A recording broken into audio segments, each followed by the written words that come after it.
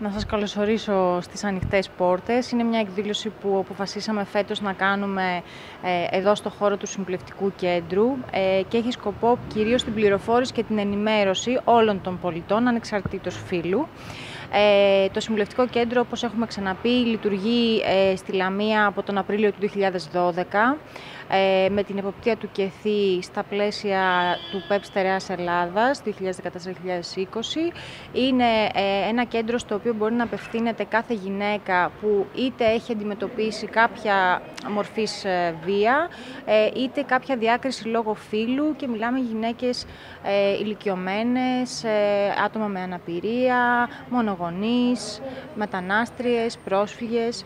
Ε, μας ενδιαφέρει εδώ να έχουν όλοι όσοι μας ακούνε ε, στο μυαλό τους ότι οι υπηρεσίες του κέντρου είναι δωρεάν και καλύπτεται η συμβουλευτική από το, το απόρριτο. Αυτό σημαίνει ότι η πληροφορία που θα έρθει σε εμάς παραμένει και σε εμάς. Ε, και από εκεί και πέρα ε, προσπαθούμε κάθε γυναίκα που έρχεται είτε μπορεί να υποφεληθεί από, από το δικό μας πλαίσιο είτε χρειάζεται κάποια άλλη υποστήριξη να παραπέμπεται στον αρμόδιο φορέα. Θεωρούμε πάρα πολύ σημαντικό το να υπάρχει μια καλή δικτύωση μεταξύ των φορέων, έτσι ώστε να υπάρχει και καλύτερη εξυπηρέτηση της γυναίκας που έρχεται εδώ. Και να το διευκρινίσω λίγο αυτό, γιατί μπορεί κάποιοι να αισθάνονται ότι ε, υπάρχει μόνο για τις γυναίκες. Ναι, σίγουρα εξυπηρετούνται οι γυναίκες, γιατί έχει αποδειχθεί ότι αυτός είναι ένας ευπαθής πληθυσμός. Από εκεί και πέρα όμως πρέπει να δούμε το σύνολο, το σύστημα.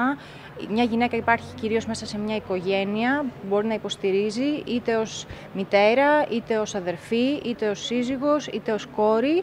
Μπορεί να δέχεται ε, τη βία, οπότε αυτό σημαίνει ότι μπορεί να επηρεάζονται παιδιά, ολόκληρες οικογένειες από το κομμάτι αυτό της βίας και αυτά τα παιδιά είναι και οι αυριανοί συμπολίτες μας, έτσι, οπότε πρέπει να το δούμε λίγο συνολικά. Σίγουρα οι αριθμοί ε, είναι πολύ μικρότεροι από το πραγματικό πρόβλημα της βίας. Ε, μέχρι τώρα στο συμβουλευτικό ε, έχουν απευθυνθεί πάνω από 650 γυναίκες. Ε, μπορεί ο αριθμός ε, για κάποιους να φαίνεται μικρός, αλλά αντιλαμβάνεστε ότι μιλάμε για 650 και πλέον οικογένειες τουλάχιστον που ε, μπορούν να λάβουν ε, τις υπηρεσίες του Συμβουλευτικού Κέντρου και αυτό σημαίνει βέβαια και αρκετή ποιοτική δουλειά. Εγώ έχω αναλάβει το κομμάτι της νομικής στήριξης στο πλαίσιο της νομικής συμβουλευτικής. Ε, η γυναίκα που θα αποφασίσει να έρθει εδώ σε εμά και θα ζητήσει νομική στήριξη θα ενημερωθεί από εμένα για όλες τις επιλογές που έχει είτε στο κομμάτι της ε, καταγγελίας της κακοποίησης, είτε σε διάφορα άλλα κομμάτια που αφορούν ε, τις ε, διαφορές που θα προκύψουν στο πλαίσιο του οικογενειακού δικαίου. Ε, ήδη η κακοποίηση σε βάρος των γυναικών θεωρείται παραβίαση ανθρωπίνων δικαιωμάτων και αυτό δηλώνεται ρητά στη Σύμβαση της Κωνσταντινούπολης που τέθηκε σε ισχύ από τον Οκτώβριο του 2018. Ε, η κακοποίηση θα μπορούσαμε να πούμε ότι χωρίζεται σε σωματική, ε, ψυχολογική, λεκτική, σεξουαλική, οικονομικό ή κοινωνικό έλεγχο.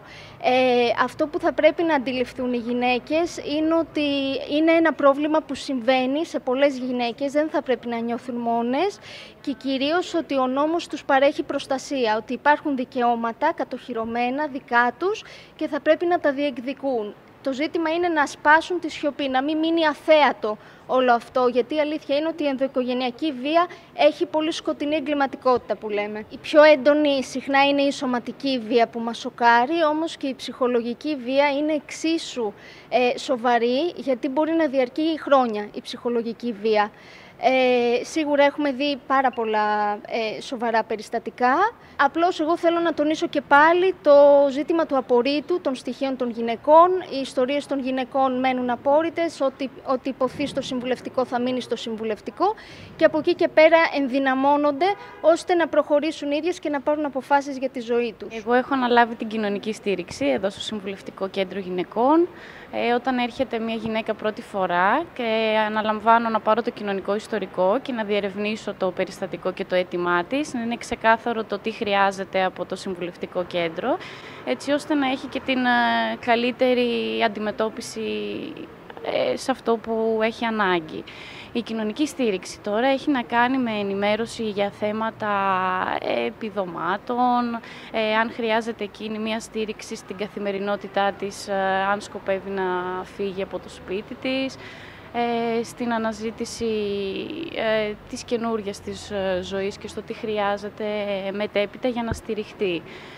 Έχω αναλάβει και την εργασιακή στήριξη, ε, η οποία έχει να κάνει με την ενδυνάμωση της γυναίκας στην αναζήτηση της εργασίας της.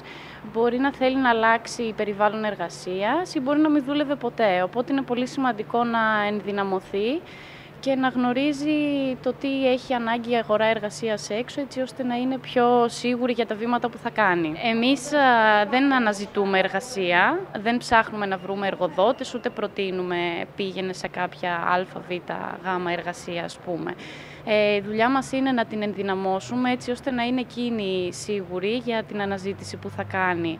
Ενδεχομένως να μιλήσουμε μαζί της για τα όνειρά της και για το τι φανταζόταν ότι θα ήθελε να κάνει στη ζωή της και δεν μπόρεσε να το καταφέρει και είναι τώρα η ώρα να το προχωρήσει και να το πραγματοποιήσει.